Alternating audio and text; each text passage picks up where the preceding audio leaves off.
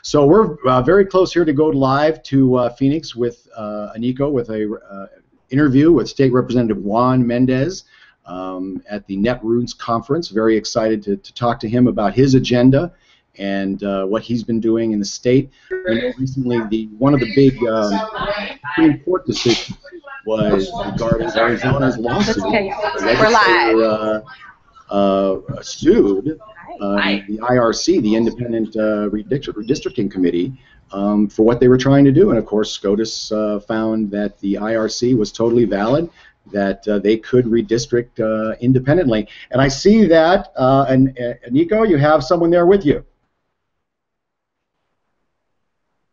Can you hear us? Yes, I can. Hi, world. I am sitting here with Representative Juan Mendez, and uh, we're ready for an interview. Hello. Hi. Hi. Hi, everyone. Good and morning. basically, we want to talk about a variety of things. Uh, basically, it's an open conversation, and it's going out to the world right now. That's so, great. yeah, for, um, Bernie 2016 TV is a grassroots volunteer effort to kind of push Bernie um, to the presidency. This is great. We got to be creating as much content as we can. Absolutely, and you're a supporter. Yes. Yeah. Early on. I mean, I've uh, he's one of my favorite uh, senators going forward, uh, and it was the person I always wished would run for office. Uh, so, and I'm so happy that he's doing it now. That's awesome. Go ahead and put that in. Oh, oh, that's that's awesome. Yeah. So um, if we have if we have questions from the audience later on, you can maybe answer I'd love but, to. Yeah. Um, basically, I just kind of want to talk to you about um, what brought you to discover Bernie Sanders and uh, why you're supporting him. What kind of issues um, you feel you guys have in common? Because I know there's a lot. Yeah. Um. So I'm I'm in it way more for the for the long run. There's. I mean, I love his the 10 point or 15 point whatever plan he's put on put online. Yeah. Uh, and I'm, it's great that the first thing on it is spending on, on, on infrastructure. Uh, I mean, it's something that I think for sure on a on a big picture macroeconomic level, that's something that needs to be happening. Uh, that'll and that is the kind of thing that'll end up trickling down to affecting all of us in all different kinds of ways, like in all the different uh, circles of your life, uh, kind of deal. But uh, for sure, I am in it because I trust him to envision a different way for us to be doing everything politically. Um, I right? without without corporate control, yeah. Uh, I mean, I mean, I'm interested in for what democracy might actually look like if we wanted to practice it. Uh, I, I feel we don't have uh, a lot of uh, leaders who, who have that kind of interest in mind, Mhm. uh, and, and so I, I know we have a lot more potential in terms of what we're doing on, on, on the level of what democracy is, Mhm. and and it just makes it look like a whole better world with Bernie running for president. He's got a great vision. Yeah. And I, I don't want to live in a country where we're controlled by corporate interests and our leaders are bought off, and Bernie is not. Um, and so I definitely, when I discovered him and I started listening to his speeches, I just couldn't get away from it. So, Yeah. Um, and what about immigration? I know Arizona's a, really important on that issue, and um, we're border state, so Yeah. there's a lot of stuff going on here, and that conversation needs to be had. Um, Trump was just here, and um, the kinds of things he says, you know, derogatory things and insulting things, um, you know, that's not that's not what we want our political discourse to be like. And Bernie Sanders is bringing that to kind of a sensible level. For sure, yeah, because I mean, there's a lot of um, of this conversation. I mean, some people want to take it in certain angles or certain areas, but we have, there's a lot that we have to rise above if if we're uh, if we're attempting to, to solve a lot of these uh, issues, uh, especially in a, in a more um, respectful and, humanitarian way, a- at least in, in, in ways that acknowledge what the true problems are. Because I mean, I'm, I'm pretty sure Bernie is on the same page in that uh, a lot of our immigration issues settle or come from our trade uh, agreements, uh, and and so we can't uh, we can't look at this problem as if we're not part of the problem. It's, I mean, it's, uh, the world is kind of globalizing now, and um, even people in other countries are having uh, Bernie meetups and, you know, kind of cheering him on because they can see that America should be a leader in the world and we shouldn't be falling behind on uh, things such as education um, and healthcare. Bernie Yeah. con- constantly brings up the fact that we are behind um, the civilized world in providing free education to, or free uh, healthcare, sorry, to uh, the public, and actually free education too. If someone wants education, they should be able to get it. Yeah, and it's uh, I mean, especially uh, around the access to healthcare. I mean, it's an, another one of those things that economically is going to be pushing a lot of us forward. I mean, again, as uh, I know, there's um, there were so many uh, Latinos that were able to take advantage of, of healthcare uh, in, with this last run with uh, access on the affordable healthcare uh, plans, and and that's done so much for our economy. There were so there were so many people who were not accessing healthcare who are now doing it, and and the ripple effects they're having on the economy are so. Uh, and, and on our that that help everybody in the sense that it's bringing down the price for healthcare for everybody else. Yeah, it's more efficient, right? Yeah. I mean, if everybody has to contribute to the pool, then there's going to be more money available. There's cost savings so, everywhere. Yeah, Yeah. absolutely. And people were doubting its efficiency, and it's actually better than projected, right? Yep. So um, once we get to the point where Bernie wants to go, which is universal health care, that's kind of the next step forward. So, So it's only going to be able to get better. yeah, yeah. yeah, that's absolutely what we want. And uh, uh, what do you think of? Um, I have read that Bernie wants to uh, audit the Fed, and that's actually a common ground between groups that don't like Bernie, um, you know, the right and the libertarians. You know, maybe they can find some common ground and can bring some to bring some of those people to our side, and you know, have Th- a- a that's so that's where we have the biggest potential uh, is in that uh, I think the the right is going to be surprised with how often um, other ideologies will fall in line with uh, with, with what Bernie wants to do, Mhm. uh, and and there's going to be a lot of potential for us to coordinate with people, to organize with other with other groups. Uh, I mean, it, it's it, and especially around the Fed. I mean, everybody wants to be talking about that, and that's and Bernie is somebody that I would trust uh, to take on that, that kind of issue. There's other there's other people where if I heard that that was going to be happening, I wouldn't expect much out of it. Uh, and then I mean, we're all getting excited right now for Bernie, but I imagine everyone's still, uh, or a lot of people are thinking, you know, like who is he going to be picking to be working with as he's going up along with this? From everybody from you know like who is his vice president pick going to be to who else is going to be in his cabinet. And there's with Bernie uh, making those kind of decisions. I mean, it's like setting up a dream team for like a sports team kind of thing. Like the potential is uh, the potential for the shift that we're going to have in this next election is going to be huge, and that's why it's more. It's so much more important. Like I mean, people have been telling me that Bernie's campaign has been able to collect the most donations uh, for, for the presidential Smaller donations. smaller donations, Democrat or Republican. Bernie's uh, been collecting more, and that's a lot of potential. But it's something that I hope we don't waste. Like we need to be organizing now uh, to, to be able to take advantage of that. Yeah, absolutely. He has, I think it's forty-three dollars is his average donation. Um, whereas, you know, Hillary's taking corporate money. All of the people on the right are taking corporate money, and Bernie's kind of adamant about not taking that because then, you know, he would have to serve their interests. Well, and then I mean, like elections on themselves have just gotten way too out of control with how much money they take in and how much money they spend. I mean, I've been, I've ran two of my own campaigns, and I've worked on a lot of campaigns. People find very interesting ways to spend money that doesn't need to be spent. I mean, like what we're trying to do and how we're trying to activate people, it'll be a lot more on a one-on-one basis. Uh, I mean, we're going to rely less and less on, uh, on the traditional methods of reaching voters, and we're going to put time into actually organizing the communities. Actually exactly what we're doing here. Is um, we kind of have a grassroots effort where everybody around the United, around the United States is providing their talent, their skill, their passion, and for free, all volunteer to push Bernie because we all know that we can live in a better world when um, we don't have people who are trying to suppress the vote, trying to take away health care, trying to take away education, and also LGBT rights.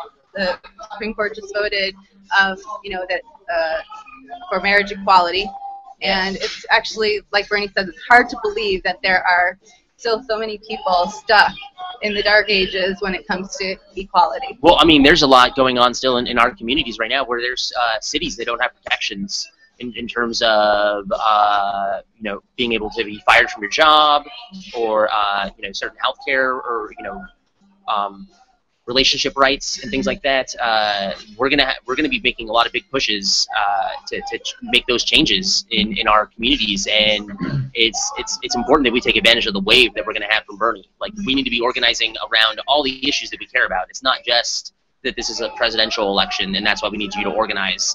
Uh, like if you have an interest and you want it to be at the forefront, we need to start building it now so that it's there and that we take advantage of it later on. And don't don't just watch people do it. Go and do it yourself. And this is my first time doing this, so that's what I'm talking about. Is go you know find a representative in your state. Actually, you are not abundant in Arizona. You, I don't know how many legislators will find to support Bernie in this red state. So I'm sure he's really glad to have you. Uh, I mean, yeah, I'm, I'm going to start working on everybody. And Nico, is Um, that are we getting? Is this an endorsement from uh, Representative Mendez of Bernie? Is he officially? Oh, yeah, I, I would. I would, uh, I guess I haven't really signed anything. Uh, the the campaign in uh, in Phoenix is just getting started. Uh, I, I don't think we've had our first um, organizational meeting, but I know the Progressive Democrats for, for America have started organizing um, in, in the background to anticipate uh, the campaign people getting here. So I mean, I've been involved in some of the first meetings, and I is no one's asked me yet, but I love to just you know give my my endorsement on my own that I yeah I'm endorsing Bernie Sanders for president.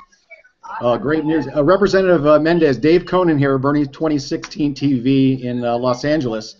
Uh, Hi, I have a question. Hi. Um, With regards to the um, uh, Supreme Court decision, we had a number of them last month, and some Yeah. more important than others. And I think actually one of the most important ones was the decision regarding your state and your legislature and, uh, suing the independent commission on redistricting. And of course, the IRC won. Could you comment on that? And also, Thank you, um, thank you so much for that question. Yeah, finish. Yeah, yeah. Sorry. no, no, please, yeah, comment on that, please, and also uh, talk about what you're doing. I know one of your big issues is voter suppression and voters' rights, and what you're doing to expand the vote uh, for progressives there in Arizona.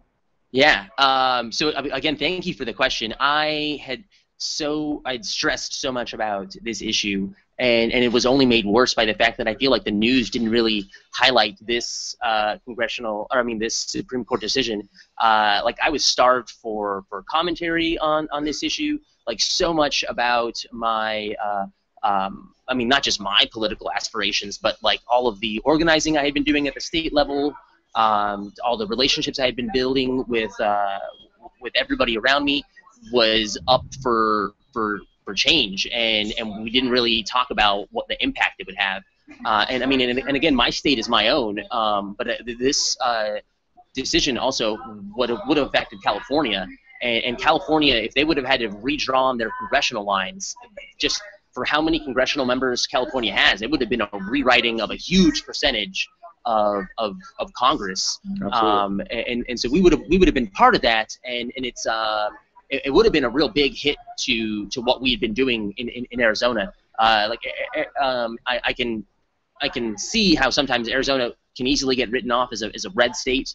Um, but there had been time where out of out of nine congressional members, we had uh, the Democrats had five of them, uh, and so we had been doing a lot of organizing. There, we, we had uh, benefited from uh, this independent redistricting commission, where the lines were being drawn fairer and fairer every every ten years after the census, uh, and and with those opportunities, we were making you know we weren't wasting those opportunities. We were organizing people. We were finding candidates to run at, at all the different levels. Uh, so we had been putting a lot of work in. I mean, and I had gotten, I had become, you know, um, introduced into politics while everybody was working on on, on making these huge gains. And so I'd I'd only ever known my community as you know in this mode, right, in this gear, uh, and to, I mean, like it it it.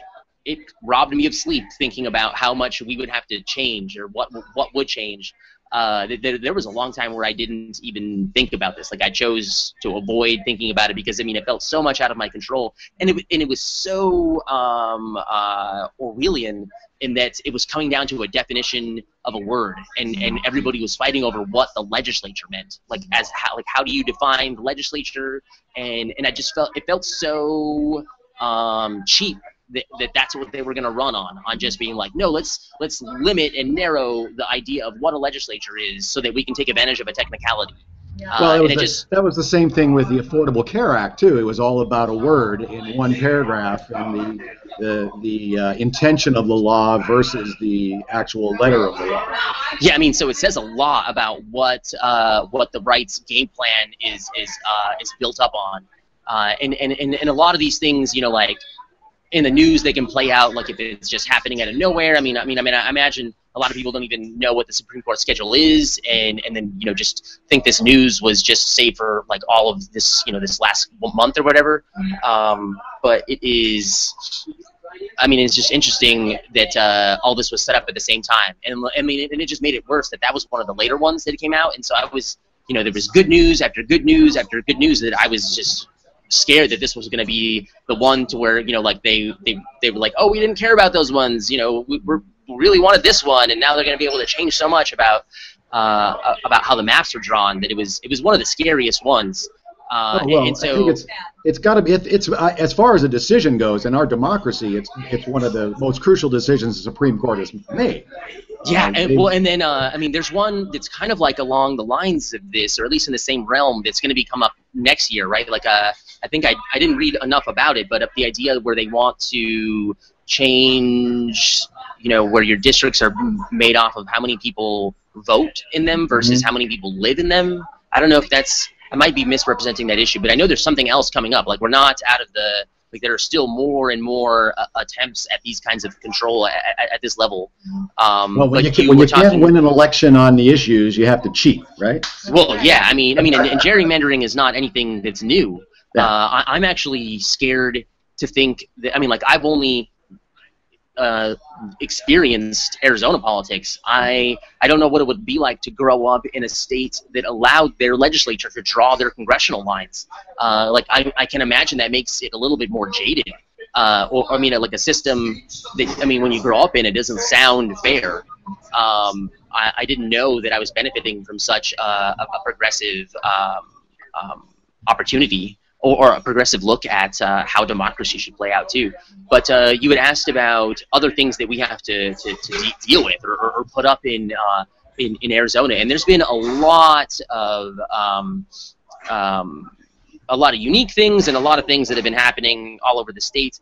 Uh, I mean, all, all, over the country. One that I, uh, I mean, I, would love to share with you all right now is um, there had been, and it's not just recent. It's been happening uh, for the last um, couple of sessions. But we uh, another thing that I kind of feel like is, is unique when I think about organizing versus in Arizona versus other states is is we're kind of I mean people make fun of our, our heat a lot, but we're blessed with a lot of time during the year where we get to go out and knock on doors and talk to voters. Uh, and it, I mean I know it's made me a whole different kind of politician. I, I would like to think is that uh, I mean I'm not only dependent on on uh, uh, like I don't have to raise money to, to run for office. I get to just knock to knock on doors and talk to voters, and, and they help me get elected. Um, but um, so we also have the ability to to uh, we have mail-in ballots, right, where people get sent their ballot 30 days before an election, uh, and they have their time to take to fill it out, research everything. If they want to, they can put it back in the mail, or, or they can take it and drop it off somewhere. Uh, it's it's amazing uh, that it, I mean that we give you that much time to, to think about the decisions you're going to be ma making. Uh, and again, it's one of the things that I kind of always took for granted that we have this time to, to think. Um, but uh, it's also convenient in the sense that you don't have to be the person to deliver it. Uh, so we've built a lot of trust in our in our communities where not our volunteers have relationships with our voters, and so they'll go door to door you know, asking people if they've gotten their ballot yet and if they've returned it and, and if they would like us to return it for them.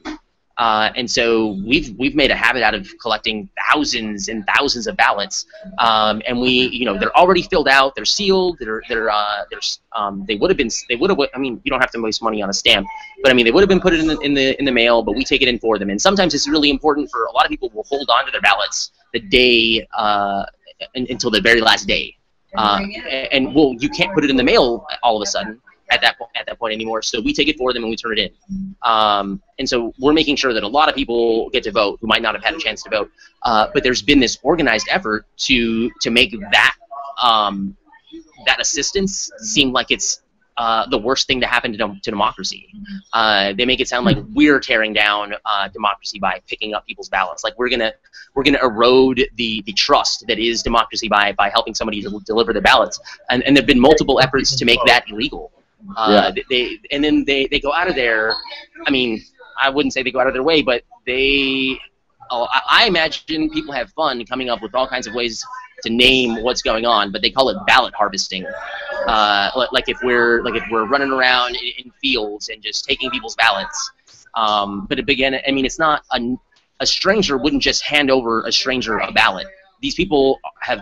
I mean, like I I know when I grew up as a volunteer doing these kinds of things, I'd been knocking in my neighborhood for six six years. Yeah, so so they know who they're giving their ballots to. Um, but so they're they're they're trying to um, stem our efforts to bring out people to vote on all different kinds of angles. Um, and so attacking the way that we organize, you know, putting up barriers in terms of having to have an ID in, in, order, in order to vote.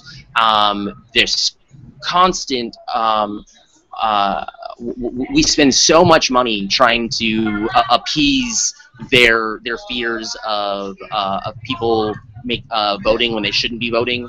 That we um, like we we have two different ballots in, in Arizona. There's a state ballot and a federal ballot, and and it's you know we, we it's there to make them happy, and we waste so much money printing two different ballots that it, it's ridiculous. Uh, like that's the Representative Menendez, Representative Menendez, we have a question from one of our other correspondents uh, in uh, in uh, uh, Lawrence, Kansas, uh, from Whoa. Cast. Ryan, come on. Hi. Hey, Representative Mendez. I'm Ryan with Bernie Cast, and I've you've been saying so many good things that I have a, a few questions I really want to ask you. The first one yeah, for sure. is being from Kansas, we have a Secretary of State uh, who is really doing all that he can to suppress the vote. And there are a lot of really, really bad things happening in this state in order to disenfranchise people. Um, yeah. As a young representative, as somebody who's already in the thick of some of these issues with the gerrymandering and those sort of things, I'm wondering if you could give us any idea about how you would recommend people go about addressing voter problems in their own states, including Arizona? Um, well, for, for sure. I mean, a lot of the there's there's groundwork that needs to be done before you, you attempt to, to take on any any of this kind of thing. So um, for sure, educating yourself on, on what's going on. Uh, I mean, I would even, even kind of advocate some kind of triage in the sense of making sure um, not just picking the issue that, that you're comfortable with, but picking the issue that's that's going to be coming up first, that's going to be uh, that's going to have the, the biggest impact. Um, but um, I, I, mean, there.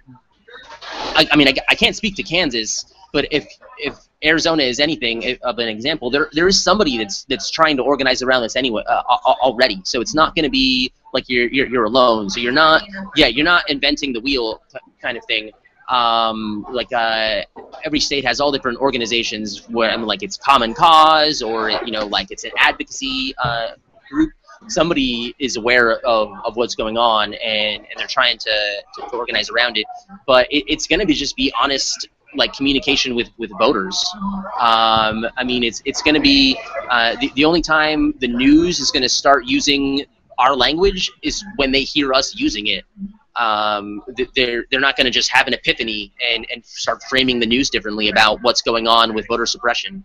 Absolutely. And, yeah, so we have to we have to we have to leave it to where they have no choice. We have to make it to where they feel they're losing out on viewership if they're not using our framing, um, yeah. and, and, and that's only going to happen when um, when it's like top to bottom, everybody is coordinated. So, uh, I mean, it, it's while it's one thing that we have these great organizations like in Arizona, you know, the Arizona Advocacy uh, Network or, or Center, uh, and, and they're amazing people, and, and they do a lot of organizing. But the more and more that we get that uh, message down to the voter, uh, the more and more that the news will start reporting on how we're uh, taking on the issues. And that's what that's what uh, we're talking about with this political revolution. It's going to take from the ground up making bringing these issues to the forefront to get them addressed by not only the mainstream media but by politicians themselves. Um, and I guess switching gears a little bit, another question that I saw come through in the chat that I think that you would uh, we would really like to hear from you is what part of Bernie's platform do you identify with the strongest? Uh, I personally like what I'm what I'm glad is is there and what I what motivates me in, in the long run is is a lot of the, the environmentalism respect and, and, and approach. Uh, I know he's going to have a, a, lot of concerns for, for how we're we're um, um, able to grow at the growth rate that we that we are right now. Um, and and he has the kind of head on his shoulders where he's gonna uh, not gonna just cut corners. And and I mean, yes, there is this prosperity that we all want to reach, but there there's a way to go about it that makes it to where it's much more um, um, where everybody can take advantage of it. Where um, I mean, I don't want to just reduce it to being fair, but I mean fair in terms of um, we're, we're not we're not making somebody else or, or the environment more fragile at, at you know at our benefits. Uh, planet, and there's only a limited amount of resources, right? So we have to make sure that we preserve we of our planet. So that, and Bernie Sanders said, you know, I have family values. Did you hear that speech yeah. about where he was like, well, it's not a family value to destroy the environment that you're going to leave to your grandkids, right? Exactly. So, and all these people are denying what the scientists are telling us and that is that uh, human activity is you know changing the climate. We need to do something about that, and I don't think there's really any other any other candidate that's going to do as much about it as Bernie Sanders would. Right, and and again, I'm thinking in the long run because again, as an environmentalist, I'm still. I, I still think of it as a smart thing that his, his still his first thing is planning on infrastructure. Mm-hmm. Like for for for me to ask you to care about the environment the way that I care about the environment, I know that you're going to have to be a lot more stable you're going to have to have a lot more um, um, not just stability but resilience in your in your in your community. Uh, you're going to have to have a lot more. Uh, and, and, I guess I'm all, I'm also recognizing in the long run that for for us to have a healthy economy, it's going to have to be sustainable in in a lot of kind of ways from an environmental point of view. So I mean, we're going to win in the long run. Yeah. With this. And I mean, that's one of the first steps is to change the infrastructure. You can't keep building the same kinds of things and doing mining and oil rigging and that actually I wanted to say Oak Flat is one of the things that people are outraged about here in Arizona because we have an amazing um, area where uh, there's pristine uh, landscape. Um, it is historical Ameri Native American land. Yeah, that sacred in, in sacred all, land, all kinds of ways. And they just gave it away to a mining company. So we're I actually, if I can, if I can jump in, Nico, I wanted What's to you you brought that you brought up the uh, Native Americans and I know uh, the representative a, a large uh, uh part of your constituency is indigenous peoples. Uh, what is yeah, their the Salt River Maricopa Indian community? What is their involvement in the political? What is their involvement in the political process, and uh, are, you, are you finding them to be more more more interested in the in, in getting getting active? I I mean they're they're very well organized. They're they they're there to, I mean, they hold up many roles and responsibilities in terms of, you know, I mean, they're a whole sovereign nation. Uh, so I mean, they have their their game together. They have vision. They have goals. They're and they're they're accomplishing a, a, a lot. And and especially from you know, uh, I, I, feel like I've seen the different nations around the valley grow up in just my small. I mean, you know, I'm only 30 years old, and I've I've seen so much change um, all, all, all over the states, and and I know that they're they're their own player, and and and it's really I it's I love following their politics, and that it's a little. I don't want to say. I mean, I like it's it, interesting in its own way. Like they got their own um, different dynamics, and that uh, their a lot of their government issues overlay over different states, overlay over so many different cities, uh, and they have relationships with all of them at all different levels. Um, I, have loved working with them. I've loved, uh, you know, getting to know their um, their industries more, getting to know uh, the services they provide. Uh, you know, I've helped out with their uh, youth organizations. So, I mean, they've they've been involved a lot, and, and I know they want more and more, you know, um, connection and, and connectivity between between our communities. Uh, I, am looking forward to when they start running more and more um, people for office in, in, our, in, our, in, our, in all levels of government. Both both of the Latino community in Arizona and the Native American community um, they basically are kind of taken advantage of by the fact that by the fact that our prison systems need reform. There's they're channeling people into uh, the system that don't need to be there, um, that are nonviolent people, and being categorized as something that they're not. And um, so we need to change the way the prison system is here in Arizona too, right? Um, what, what's your opinion about uh, Arpaio and the prison system? Uh, well, um, I mean, it's an interesting. I mean, for sure. I mean, I know where I stand. Like, this is not the way that I would be organizing society. This is not the way that I mean we should be approaching what criminal justice is. Um, the, I mean, we're setting a very, very bad example. But at the same time, like I, like I grew up in this kind of, you know, fear, this kind of, this, it's op- this open hatred, like this, this, uh, this demonizing of, of um, ethnicities, and and for sure, it's shaped me in, in, in all kinds of ways. Like, I mean, I, I am the kind of person I am because of the way that you know Sheriff Joe or the way that I imagine he's patrolling around our, our communities. Like I, I he's definitely painted how I view police in a, in a, in a, in a, in a, very negative way. So I mean, at the, at the same time, he's done a lot of us a, di- a disservice, and, and, it, and it changes the way that we view and, and value what a prison system is to a society. Like uh, the, the idea that it is an institution and then it's serving us all a function. It's not just somewhere where we put somebody in timeout. Like it's it, it was meant to be helping uh, society stay alive, uh, kind of thing. But I mean, I mean, we do it all wrong. Um, forgot what the actual question was. Well, oh, I mean, yeah. Uh, so how, how it hurts us all though, like the way that we approach the prison system, especially with, uh, I mean, with, with, the immigration population and, and, and, and Latinos, um, it's made us all less safe. Uh, we all lose out because of people like Sheriff Joe. Uh, the, in um, in my county, in, in, in Maricopa County, uh, Latinos, what, undocumented or, or documented, are 50% less likely to call the police if they're a victim or a witness to a crime. Uh, well, and, and then so that means there is no, um, um, well, uh, but it, there is no police um, public safety. There is no public safety if nobody's calling the police. And so if, if I live in a community that is predominantly Latino, and over 50% of them are not calling the police. And a lot of it is because everybody, uh, I mean, I'm a mixed status family. So many people live in mixed statuses where where you, you don't have the same comfort calling the police. Yeah. Uh, I'm sorry to interrupt you, but I'm curious.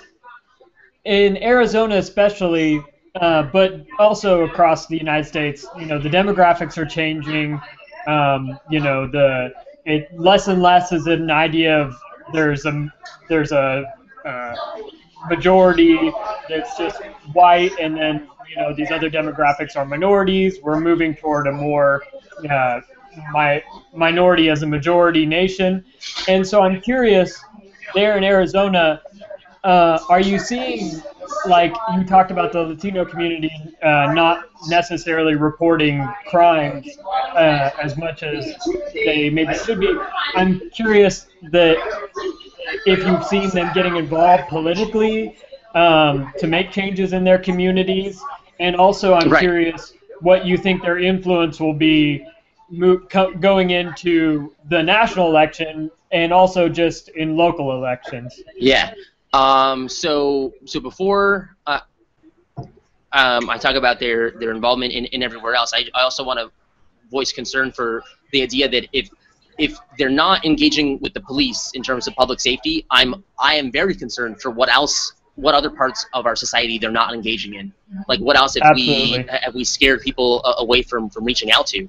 Uh, and, and there's a lot of work that we're doing to, to repair that.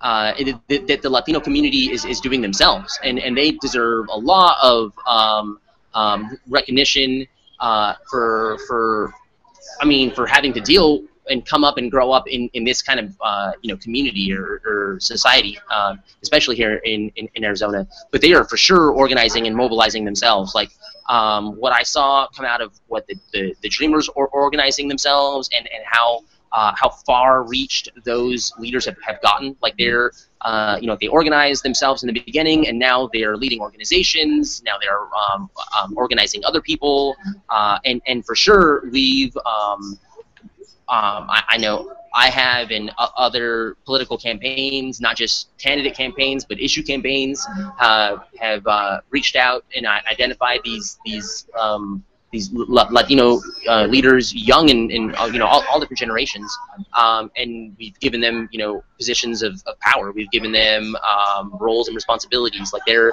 they're in charge of their own of their own movement of organizing themselves themselves in their community, um, and and we rely on them now for you know initiative drives. Um, we rely on them to, to, to organize everybody too, and not just their own communities. Uh, we've given them you know um, free reign to organize around the whole the whole valley. I met, I'm uh, curious. Visa, uh, an undocumented college student who basically, like you said, you know, you don't you want don't want to live your life looking over your shoulder to see if somebody's gonna say, okay, you know, get out of here. You're, but I mean, and, and these are these are scary. I mean, uh, I've learned how to talk about this as, as, as adverse childhood experiences, right? So these these people are, I mean, these children are growing up when seeing their parents leave for work and and not being guaranteed that their parents are going to come back, uh, or, or, be, or be or be there when they get back. Uh, and it's, I mean, it's it's uh, I, I I'm grateful for all the people that have been faced with that kind of uh, situation and have decided to, to, to change. Um, but uh, but again, I mean, we're it's a very fragile situation, and, and, and we're losing lots of people who who are who are going to turn away from from our society, and that's that's I mean. A, lot of things can uh, motivate me to be engaged in, on these issues. My, I mean, my family, my friends, for sure. I mean, I, I've had my my uncles been been deported, and, and it's rocked my whole family. Like, and it affects everybody from economic uh, strains to just different strains on on our dynamics of the family who's still here and how do we support people down there. Um, but uh, uh um, and I'm lucky that for me it's pushed me to, to do something about it. But uh, we, we can't afford to lose people. We can't afford for them to turn away from society because they're not going to leave they're going to stay here and they're going to raise families and it's going to be people more people who are disconnected and disillusioned and we want, uh, i mean same with um, the healthcare they they're scared to call the police because they are afraid of you know getting deport getting deported then you know what's to say they're not scared to go to the doctor when they need to go to the doctor which means yeah. they're not going to go to the doctor and then our society is going to be less. Well, and then and then what's worse, uh, and I'm, I'm dealing with this locally right but right now. I just got off this issue. I mean, we're, we're not done. But there's the other part where um, employers will, will, will abuse um, a, a, a, lot of these un, undocumented workers, and, and, and then which that hurts everybody else in the job economy. When when when we, when we allow employer employers to take advantage of, of cheap labor, it, it hurts everybody else. Um, but well, and, and then and then so they're you know they're uh, working in, in horrible working conditions and and they're afraid to stand up but I just had um, a ton of um, hotel workers in, in my district who were just fed up and, and were done with it. They went on a, on a I joined them on a, on a two-day hunger strike uh, to, to, to, to highlight how awful the working conditions are and, and how they're taken advantage of because of because of their situations. Uh, are not acknowledging the value of labor. Basically. Yeah. I'm curious about something too. I'm sorry to inter- interject. It's kind of hard to hear sometimes, but uh, the we were talking about parents, you know, leaving and not being sure if they're coming home, especially in these communities where there's the possibility of deportation or um, or we talked about earlier incarceration. And I wanted to speak briefly about that, just personal experience uh, I helped teach preschool for a while, and one thing that, and it was in these uh, low-income communities, and there were so many stories of that happening. Like, you know, the parent doesn't come home because of some trumped-up, you know, drug offense or something like that, and it has a significant impact on the local community when there's that kind of disconnect between the uh, people and those who are in positions of power. Um, I'm curious what you are, what's being done in Arizona right now, or what you're trying to do to address those problems. And then, um, secondly, I'm wondering if events like NetRoot this weekend have any effect on uh, the conversation down there, and what impact you think might come out of this event. Okay, so for for sure, I mean, the, I've been to a couple of the panels uh, at Netroots Nation, and, and, they've highlighted a lot of uh, the trials that we have to go through in Arizona they've uh, communicated a lot about what's going on, and, and I feel like they've done. And there was a lot of audience interaction too. So I mean, the, the Netroots helping us get these stories and issues out across the country is going to be, or and the world too, is going to be amazing, and we're going to benefit from that in, in a lot of ways. Like I mean, I'm always everybody I'm I'm talking to, I'm stopping and telling them that they, they need to be looking at Arizona the way that we used to view the South during the civil rights. Um, like this is, a, I mean, not just because this is an opportunity to make change, but I mean, this is the level that we're working at. This is, I mean, we have the same things at stake. Um, we're, we're, um, so there's there's a lot of potential. But um, you also asked about. Um, I feel like I answered the last question and I missed your first question. Are you there, Oh, Ryan? Netroots. Netroots. How is Netroots, uh, uh, the, the, the conference itself? Uh, well, I mean, yeah, so for sure, like I, uh, they- they've let us highlight a lot of issues. The work, the panels that I've that I've been to uh, have been great. Uh, I mean, and then it's a lot of tools they've been giving us too about how to to make sure that we engage. Uh, uh, the Latino community engages the Latino media, um, or in traditional or uh, what's whatever it's when it's not Latino media, the regular media, media, Yeah. um, mainstream uh, media. Uh, I mean, so th- there's all kinds of tools that, that I'm going to be leading with. There's all kinds of relationships that I'm going to be leading with. I mean, I'm uh, I we're benefiting from the fact that you guys have attracted a lot of awesome people from all over the country to come here. Uh, so I mean, I've been been able to meet up with uh, all different uh, organizations too that I weren't that I didn't know that were carrying certain causes or that I didn't know that were organized. It, it's a it's a great gathering. I mean, and we get to show other people our issues too. So like I mean, like and all over the booths were, were local issues going on. Like that Oak Flats issue had a table at, at, at, at the booth uh, at the booth. So that was that was awesome, and, and I was able to connect them with uh, with so many other people too. Um, so Do you think that has a chance? As far as I know, it's like said and done. Uh, I mean, it's it's scary because they they uh, they overstepped, you know, the traditional checks, right? Like we it over it hasn't gone through any EPA um, um, oversight, and I mean, I, I don't think I'm pretty sure it wasn't really done at all in respect to the Apache Nation. Uh, like I'm pretty sure there's a different process it should have gone under for, for that kind of deal. Um, but uh, I mean, overall, we're going to benefit from Netroots Nation being here. I mean, and, and it helps us call out everybody else. Like, I'm, I'm glad Netroots Nation didn't skip Phoenix. Uh, I mean, we like how I'm saying, like, we need your help to, to, to highlight this. Otherwise, um, I mean, if we don't bring people from out of out of out of the state to to uh, and to help highlight what's going on, the people here are going to think that they're just normal and that they're what what they're doing is right. Um, Yeah, we gotta call them out. And the thing is, there's, I'm sure you know that Bernie had to change the, the venue three twice now because the capacity was originally at the Hyatt, then it was moved to Comerica, seating 5,000. That wasn't enough in Arizona for Bernie. So 10,000 people uh, are going to be watching Bernie. So there's a lot of people here that kind of don't come out until an event like this happens. Maybe they see, okay, I'm in a sea of conservatives here, and I'm I'm alone here. But we're not alone here. There's a lot of us here that have the Eniko, Eniko, we're not we're not allo- we're not alone in the nation. And I have a question from uh, teachers for Bernie.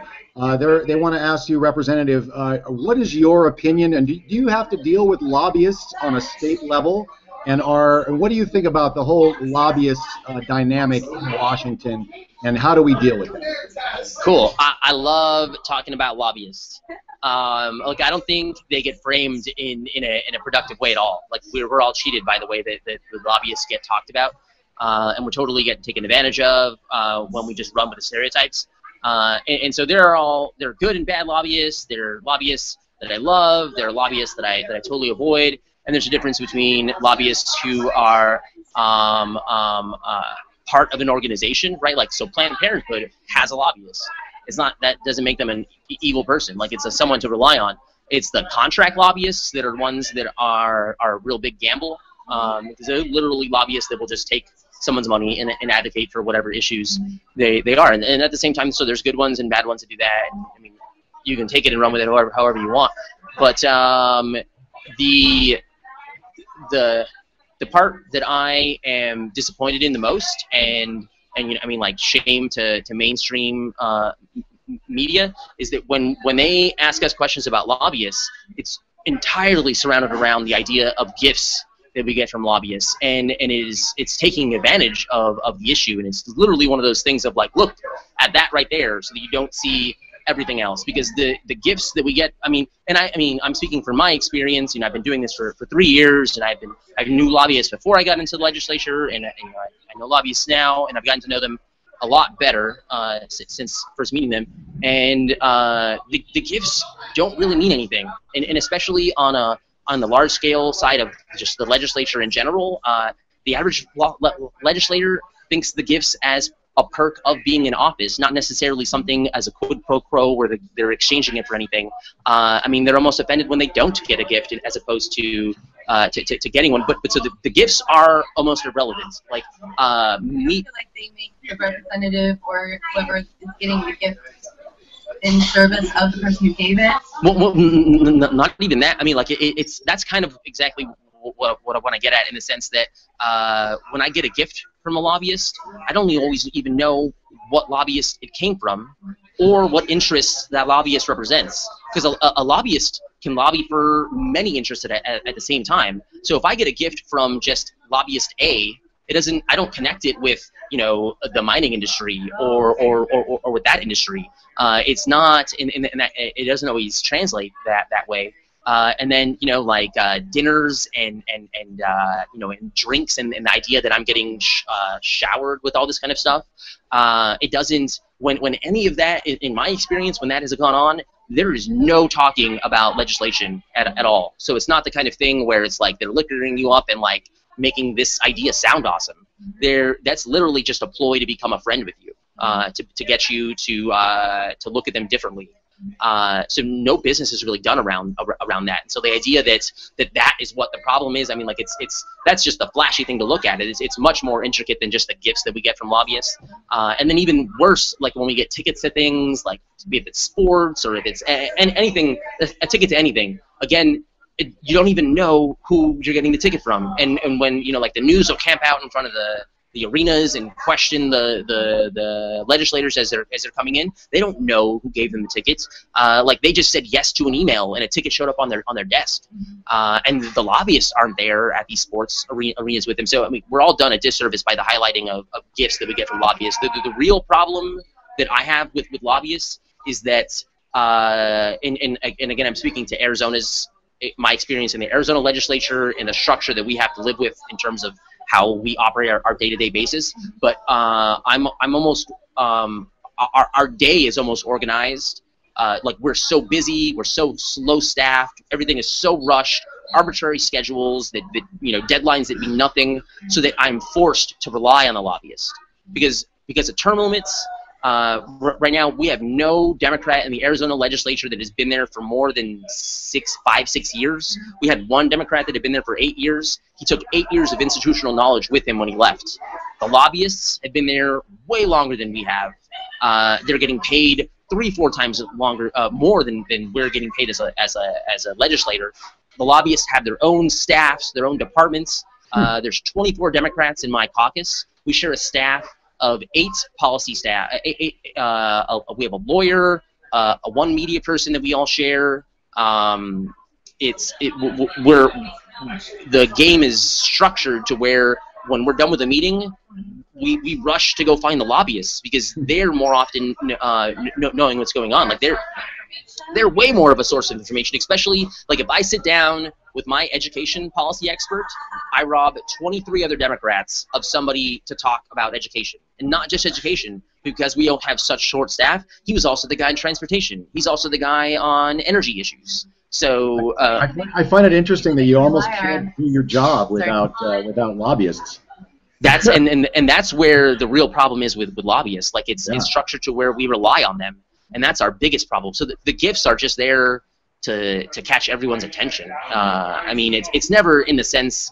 I mean, they. I mean, even if I get a hotel room somewhere, even if I get a trip somewhere, it's never going to equate to me just taking that person's side on an issue. Uh, the, Do you think that applies to every uh, representative or legislator? Uh, I mean, again, it's because they've created a relationship with them, and, and that's much more what the lobbyist is taking advantage of. It, uh, like the the I guess, and again, I'm, I apologize for saying like the average legislator much thinks the gifts are part of the the job, Part of- like a perk of that Part just of the comes job. with it. But it is it is actually part of the job, I guess. Now it's just that's the way it works. You know? Yeah. Yeah. And what do you think we can do about Yeah. that?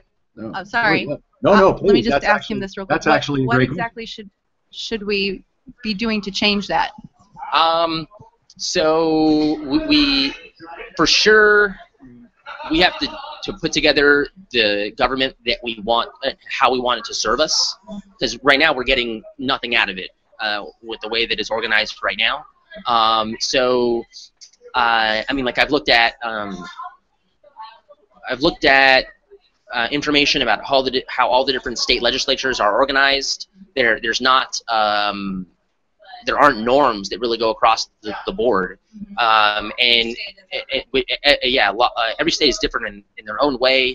Um, but um, we need to address this lobbyist relationship with state officials, and it should be what we're uh, the, our more important thing because uh, the federal government has become so backlogged and like you know nothing gets done that everyone else has already figured out that out a long time ago. So that business interests, when they want something passed that has a national effect, they don't go to Congress anymore. They go to ALEC, and ALEC makes their bill passed in all 50 states at the same time, pretty much.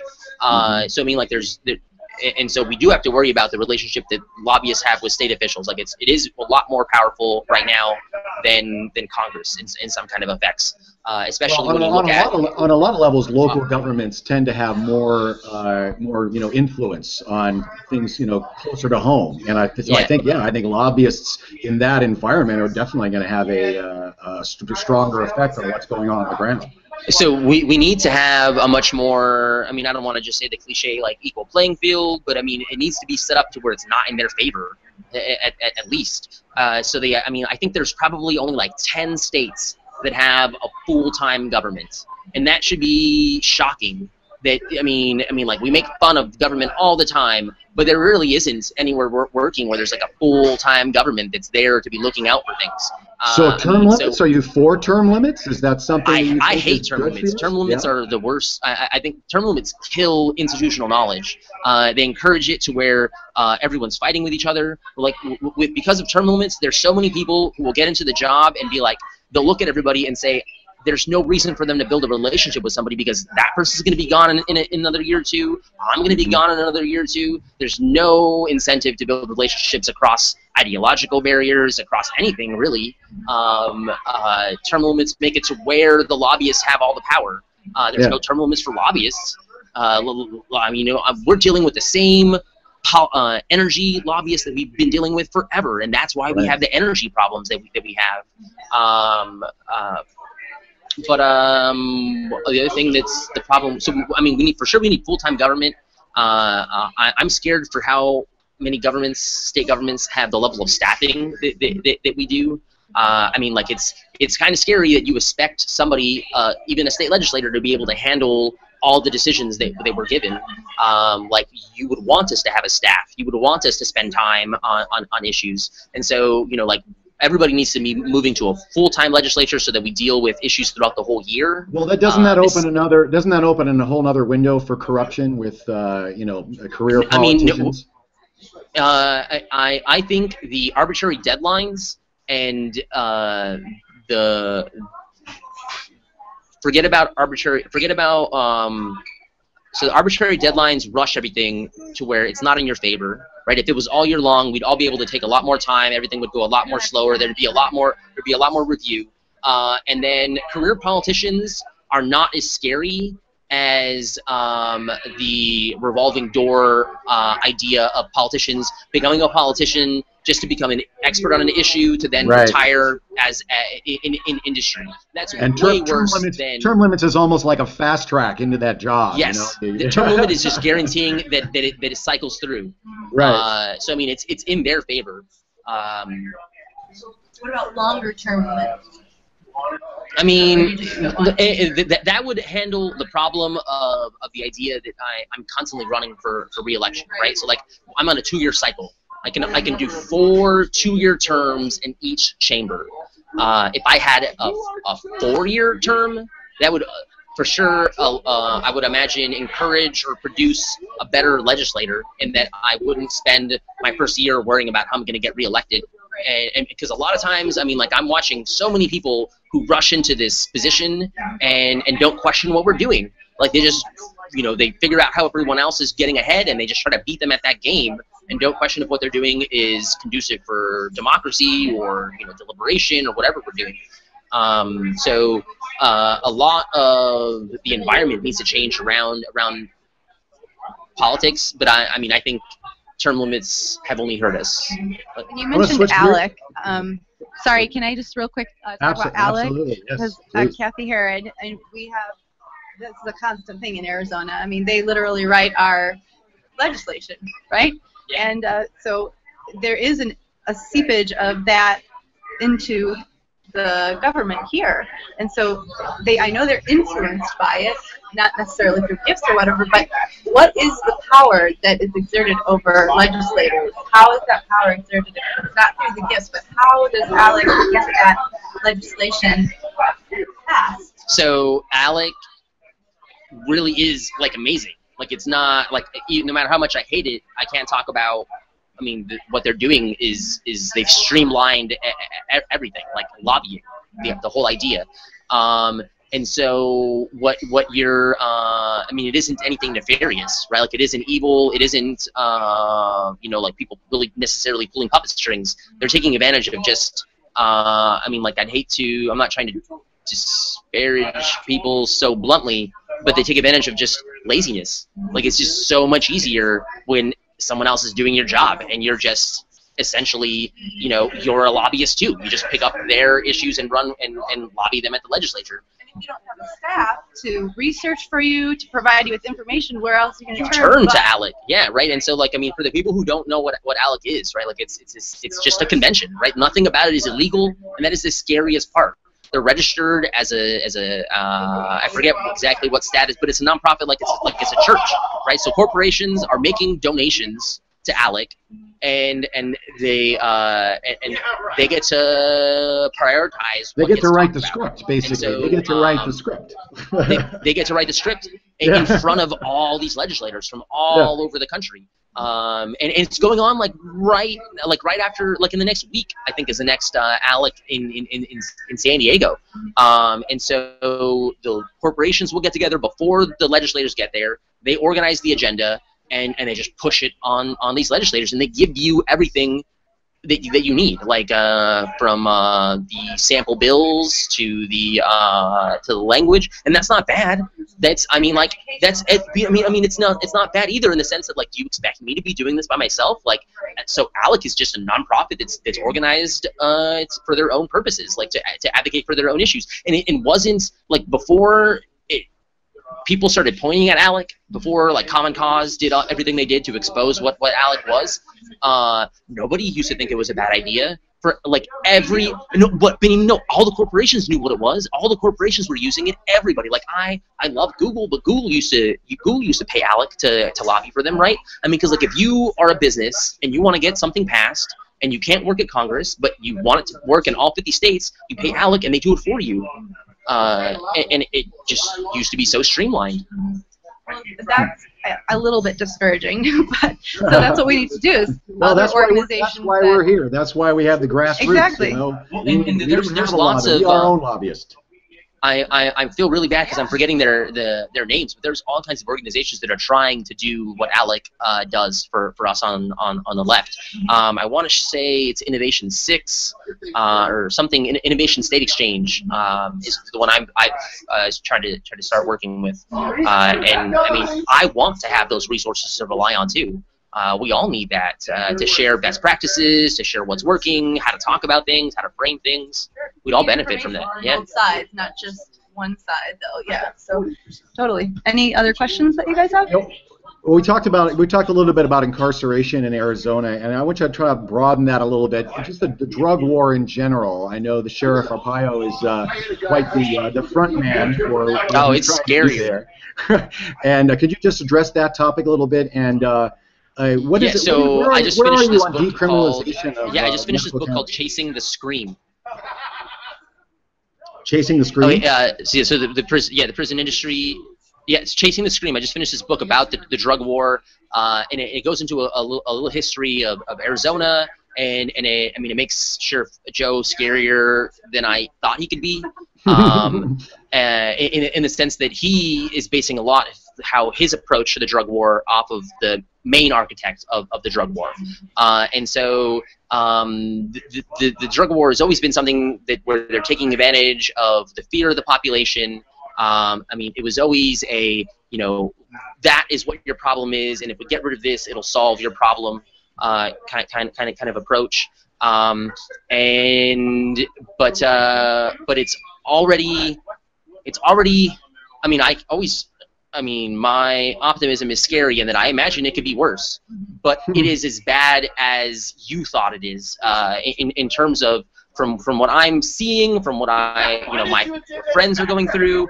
Um, we what everything that the the worst people in the world were fighting for when they were fighting for Jim Crow laws and what they were wanting out of Jim Crow is in effect today, in to a larger scale in a much more organized way than than even they would have dreamed in in, in, in to a perverted scale in the sense that we have large parts of our population ethnic minorities who are essentially second-class citizens, right? They they are restricted from ever voting again. You know, there are certain jobs they will never be able to have. There are certain places they will never be able to live. They are um, ostracized from from society. Uh, like they got what they wanted in terms of of what the Jim Crow laws were, uh, and, and, so we are in that kind of, of in, environment and, situation. Uh, and and it, it, it plays out in a much more you know in your face you know sick kind of way when you see all these prisons and these and, the, and these private prisons and how they've made an industry out of out of, out of doing this right? And so and it, it's kind of sick like their model like where, where they'll they'll come in and and and, and they'll build their own prison here in, in, in Arizona. They'll pay for it. And and they'll take in contracts from other states and take in prisoners from other states and they'll fill their beds.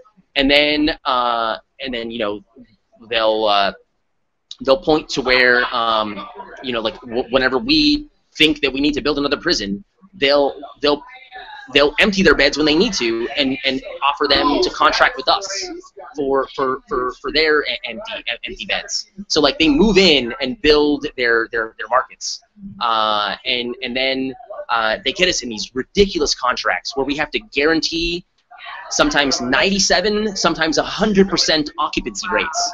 So, so even if we don't have prisoners, we have to pay for this bed. So it's That's like if they guaranteed That is they, completely they, absurd. per, they, they perfected like the hotel model. Like I mean, like a hotel would dream of this, right? That's what they would want.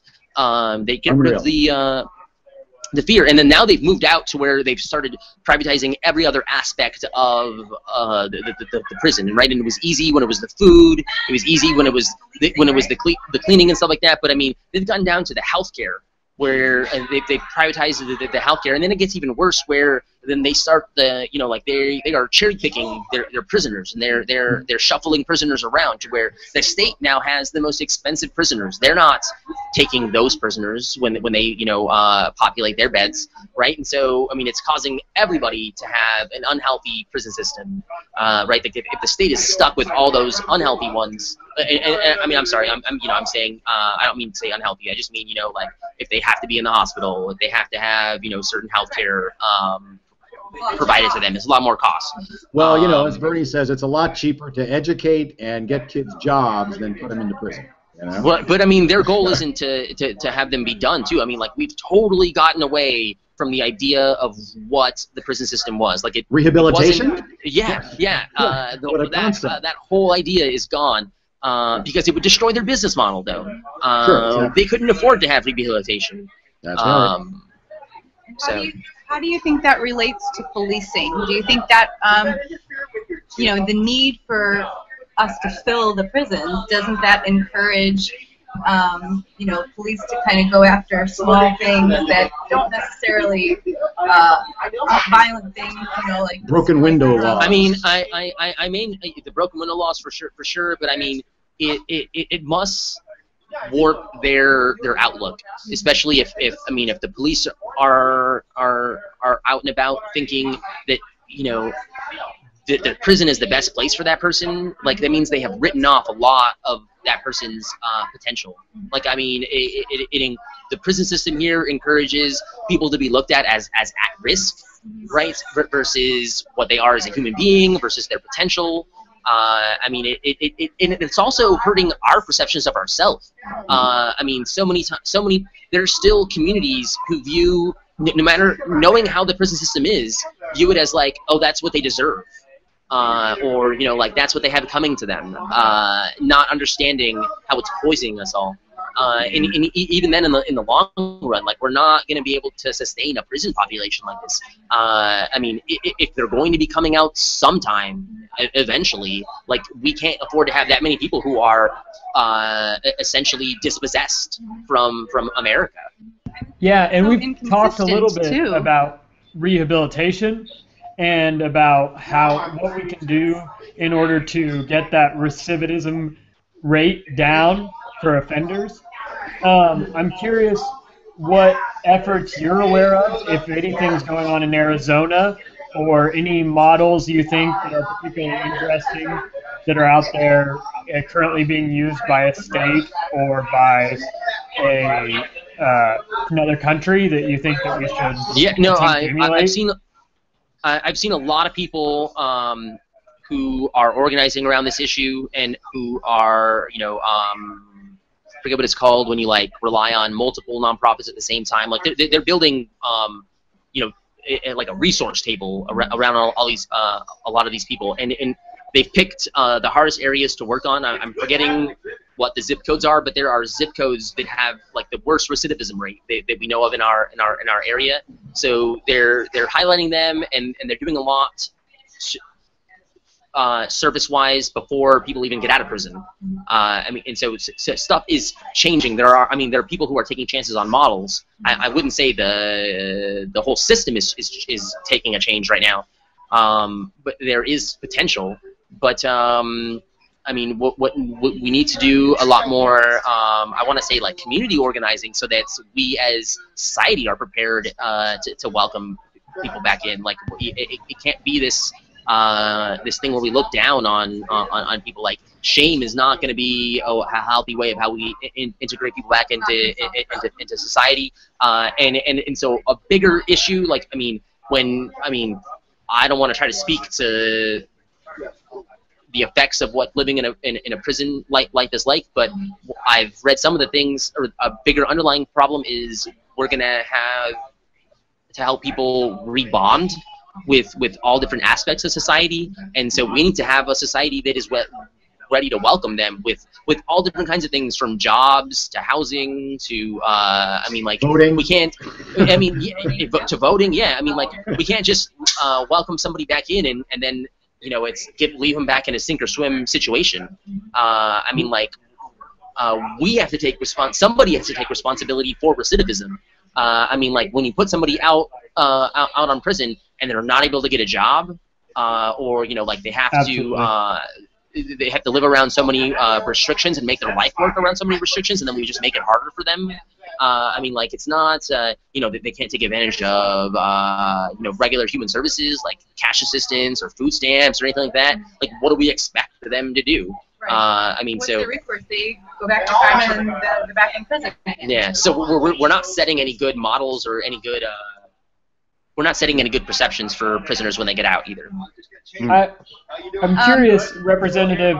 Uh, we've held you for a long time. Do you need to be anywhere? uh, I mean, I was gonna try to check out. I mean, I'm here to watch Bernie. So, are you staying for the Bernie speech, or are you going to Netroots right now? Uh, I mean, I got the Netroots ticket. So I have one too. On right if you want to, it's up yeah. to you. I, I, mean, I'll come back to you. Okay. well, we'll uh, let you guys go right now, and we'll um, we'll we'll decide if we want to walk around and hang out here a little bit, and then if you want, uh, we can reconnect later.